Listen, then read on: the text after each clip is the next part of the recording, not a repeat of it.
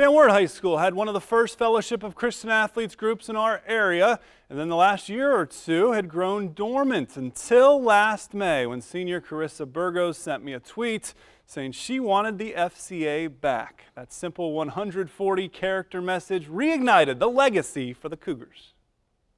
It is so great to hear that FCA is starting back up at Van Wert. FCA was such a huge part of my own spiritual growth and development as a teenager.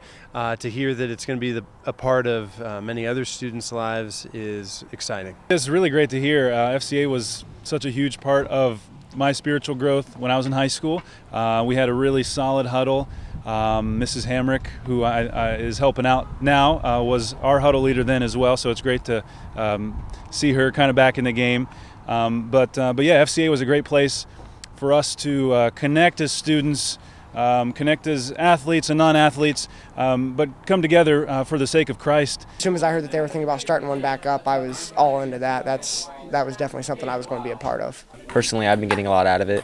Um, I can't wait to see what the rest of the year holds with this organization and to see what kind of uh, events we can go to and um, different things we can participate in throughout the year. This group of seniors doesn't remember a lot about the guys like Penton, who are the Cougar forefathers, but they have learned from them since. Now that you know more about his faith and what he went through in high school, it definitely shows a lot of his character, and it's definitely somebody to look up to. When I was a freshman in high school, I remember my neighbor stopped by and said, Hey, there's this thing called FCA going on uh, at somebody's house down the street. And so I'll never forget walking uh, down the street and going to my first FCA meeting and being able to just be in that environment uh, that, uh, you know, the walls of church denominations and, and uh, so many other things uh, were broken down, and we were able to just sit there and, and, and talk with our, our classmates um, about scripture and about things that were really relevant to teens. Um, it really impacted me. It's cool to bring in and uh, bring in other people from my uh, school that obviously go to other churches and um, get to know the athletes and uh, just basic Christian students at my own school. And God teaching these FCA students many lessons.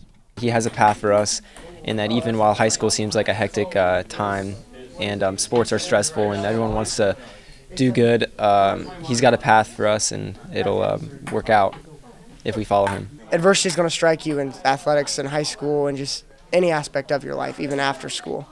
And just being able to respond to that in a positive way is a big deal. I mean, no matter what you're facing, uh, and, and he, God's always there for you. I mean, no matter what, what you're going through, whether it's something as small as, you know, you're, you're not the spot that you want to be, or something as big as you know a major life event, you know a catastrophe. It's he's always there, no matter what's going on, and that's that's something that you know it's hard to think about in the moment, but you know, just just saying his name and knowing that he's there is a very big deal, and it's, it's awesome.